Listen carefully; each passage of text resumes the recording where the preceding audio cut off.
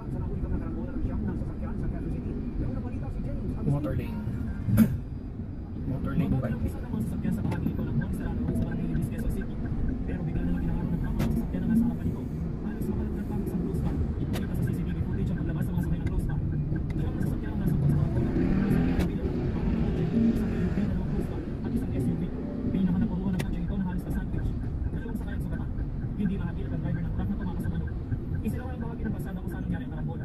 Based dun sa info na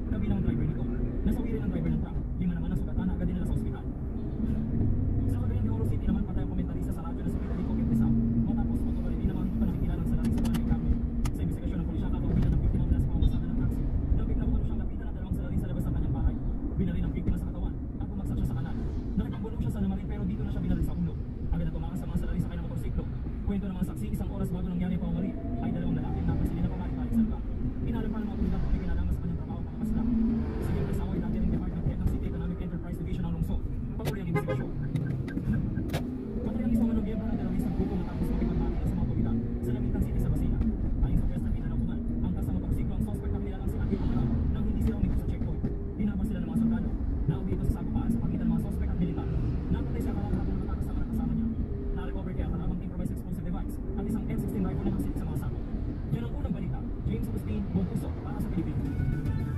Dalawang patay matapos magkatakain sa kanilang bahay sa kawain Batangas. Signs ka sa ng sa Wilong Maro ang salarin sa bahay mga biktima at nagtataga sila gamit ang bulong. Dead on the spot si Hovencio Magsino. Naitakbo pa sa ospital ang kinakasama niyang si Rodela Cahiga pero kinalaunay namatay din. Sukatan naman ang anak nilang labing limang taong kulang. Hawak na mga pulisang suspect na rekontra sa kanya ang bulong binang